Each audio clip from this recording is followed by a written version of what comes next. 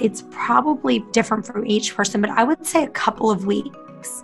And so some people can transition, you know, into a shorter eating window a lot faster.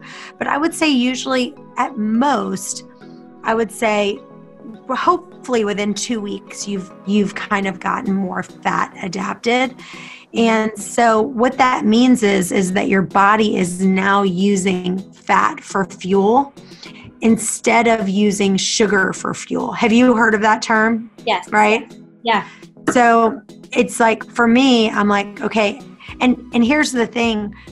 Fat adapted is the metabolic state where your body has been in ketosis long enough that you've kind of transitioned where you say, okay, I'm over here.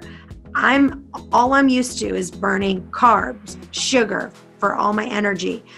Now over here, your body's like, okay, we're not getting any more sugar. I'm going to have to use fat for fuel.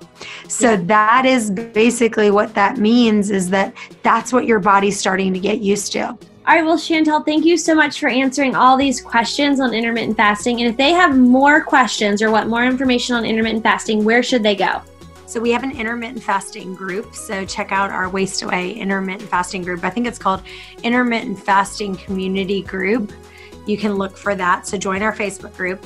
You can also go download the podcast. I have two podcasts. One's called Waist Away through intermittent fasting, and one is the Fasting Resets uh, podcast. So both of those have great information. And then also go to the Fasting Reset Summit.com, and that's where we had 46 guests talk about everything you could possibly want to know, and it's all about fasting.